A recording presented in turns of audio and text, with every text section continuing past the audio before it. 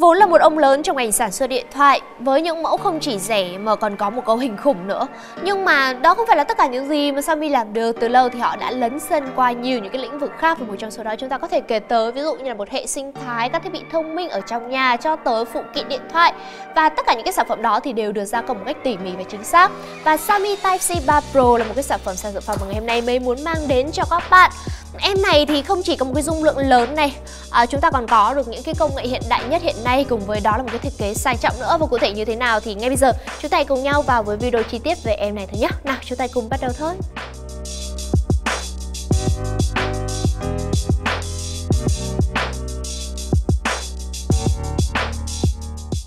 Và chúng ta có một cái hộp cực kỳ đơn giản với ờ, toàn bộ những cái thông tin cần thiết, ví dụ như là hình dáng của gối sạc dự phòng hay là dung lượng pin thì đều đã được in ở bên ngoài chiếc hộp này.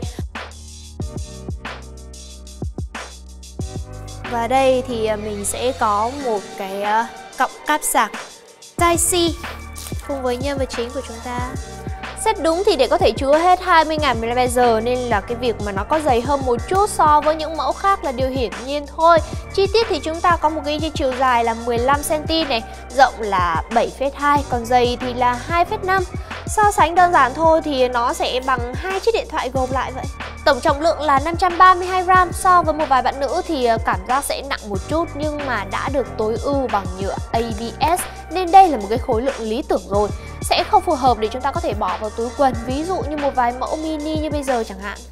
Cùng với đó là mối thiết kế bằng nhựa đen nhám bo tròn ra cả bốn cạnh. Mình có một cái cảm giác cầm nắm thì à, chắc chắn đầm tay thoải mái nhưng mà lại không hề bị cắn tay đâu nhá.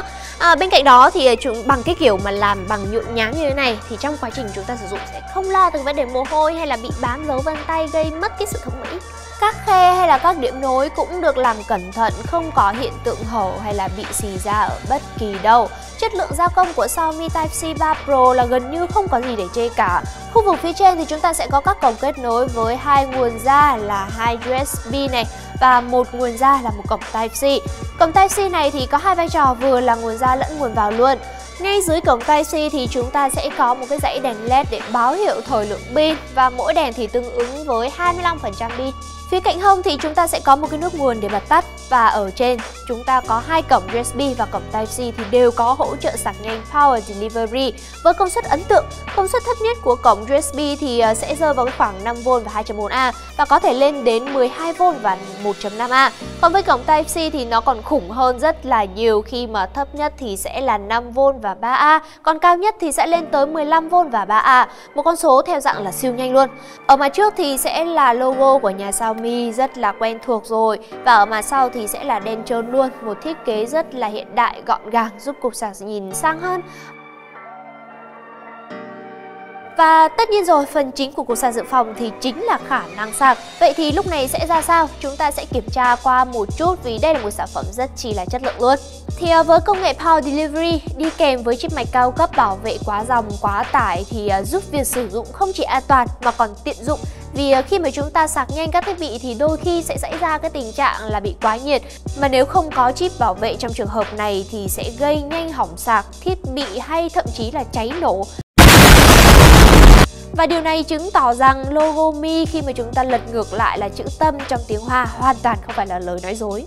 Như các bạn đã biết rồi, cục sạc dự phòng này thì có dung lượng là 20.000 mAh với khả năng sử dụng lên tận là 60% thì ờ, chúng ta có thể sử dụng thực tế là 14.000 mAh. Khi này thì ờ, không chỉ là chúng ta chỉ sử dụng để xài cho điện thoại thôi, thậm chí là sử dụng cho cả laptop hay tablet cũng rất là ok và không phải là một vấn đề quá khó với cục sạc dự phòng này. Khi mà một thiết bị có hỗ trợ việc sạc nhanh thì nó sẽ đưa ra một cái thông số phù hợp để đảm bảo rằng lượng điện vào là nhiều nhất. Và với cổng USB khi mà sạc thực tế nếu máy có sạc nhanh với cái dung lượng là còn trên 50% pin thì ờ, sạc sẽ sạc vào với cái công suất là 5V và 0.7A. Này thì chắc chắn là các bạn sẽ hỏi là tại sao nó lại thấp như vậy thì đây chỉ là một cái cơ chế bảo vệ máy của cả điện thoại lẫn sạc. Vì thường các máy sẽ chỉ sạc nhanh trong cái khoảng là 50% pin đầu để có thể tăng tuổi thọ của pin lên với những máy mà có hỗ trợ sạc nhanh và pin thấp thì nó có thể kích hoạt được lên tới, theo như mình đo là 8V và 1.8A mà lại rất ổn định. Con số cực kỳ suýt xa với cái thông số mà nhà sản xuất công bố, chứng tỏ đây là một cái sản phẩm chất lượng tốt từ nhà Xiaomi.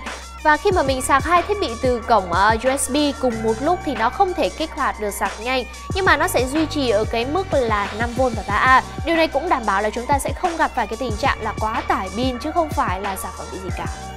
Cổng à, Type-C thì cũng rất là chất lượng với những máy có sạc nhanh tối đa lên tới là 15V và 3A.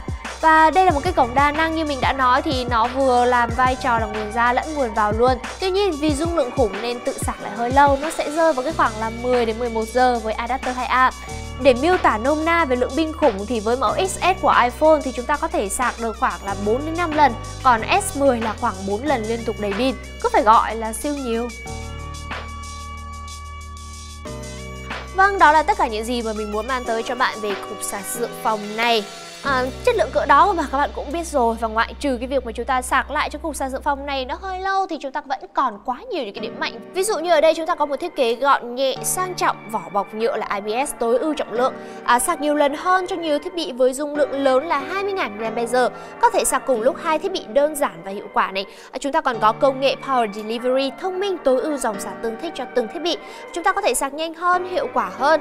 Trang bị chip mạch cao cấp bảo vệ quá dòng quá tải này và cuối cùng thì ờ, chúng ta có một cái nguồn vào Type-C sạc nhanh, ba nguồn ra cũng sạc nhanh luôn, bao gồm hai cổng USB và một cổng Type-C. Còn bây giờ là quyết định của anh em thôi, có mua của sạc dự phòng này hay không và các bạn nghĩ như thế nào về của sạc dự phòng này? Hãy để lại bình luận bên dưới cho mình biết với nhé. Còn bây giờ thì May xin chào và hẹn gặp lại các bạn trong những video của ờ, lần sau. Ok, bye!